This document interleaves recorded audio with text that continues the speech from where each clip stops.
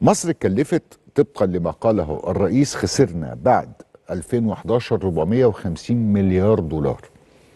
أنا عايز أقول لكم أنا كنت إعلامي وصحفي ومتابع لما يجري في مصر. أنت فعلا كنت بتحتاج إلى دعم مباشر. يمكن الرئيس كان قالها قبل كده وعدة دول وقفت معانا دول عربية كثيرة وقفت معانا في هذا الأمر. ومش بس كده أنت صرفت مصاريف باهظة وكثيرة للغاية. وكل مؤسسات الدولة وقفت علشان توقف المركب. ما هو انت قبل ما انت تنزل البحر لازم توقف المركب وترمها. المركب دي كانت متخلعة. 25 يناير ما كانش حاجة سيئة ولكنه تحول إلى بعبع. ليه بعبع؟ لأن دخلت لك ملفات ودخلت لك دول لها أغراض مختلفة تماما تماما عن اللي الشعب كان بيطالب بيه. وهذه الدول كانت لها مخططات وصبت فلوس علشان تضمن إن المخططات دي تشتغل وصبت مليارات.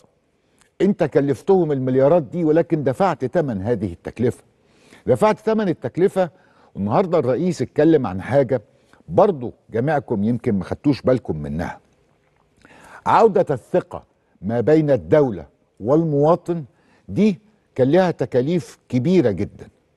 إعادة وقوف وزارة الداخلية على رجليها مرة تانية الأقسام اللي اتحرقت والناس اللي اللي اتكسرت. يعني حواديت أنا لا أريد أن أعود إليها مرة أخرى لأنها كانت عاملة زي الحلم الصعب جدا زي الكابوس اللي كان بيعدي علينا في مصر.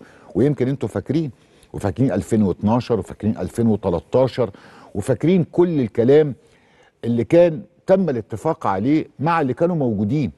إن مصر هتتباع.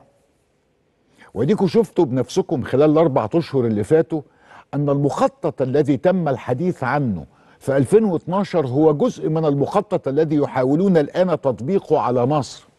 هو جزء منه. وده مش نظرية مؤامرة وده مش كده لا ده كلام واقعي وهم بيعترفوا بيه أساسا. إن أنت كنت هتاخد فلوس وهتاخد مليارات والإخوان يركبوا والدنيا تبقى 100 فل و14 وكله بقى يجي عنده ويلم كل ما يمكن أن تتخيلوه.